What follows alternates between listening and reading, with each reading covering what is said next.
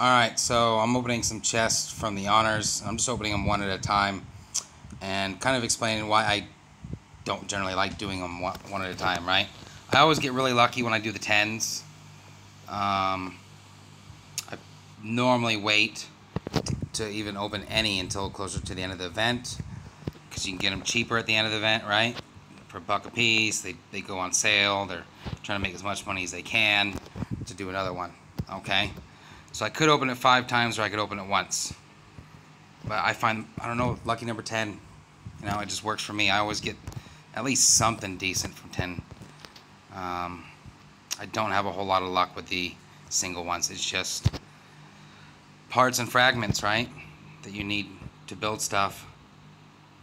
And the amount they give you is not fantastic, but I mean for a buck, buck's a buck, right? But it depends on what area in the world you're from or, you know, your financial situation. Um, yeah, you'll probably see I'm not going to get a single one here. I'm not to get anything good from these. This is all the keys I'm going to buy.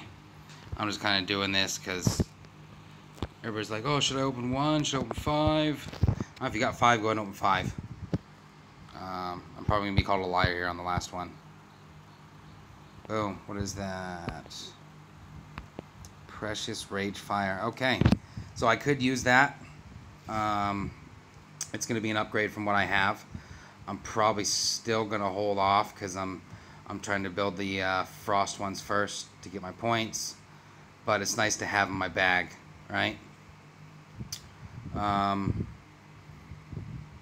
this is your boy Juggernaut, Kingdom 440, doing another honors event video. Peace.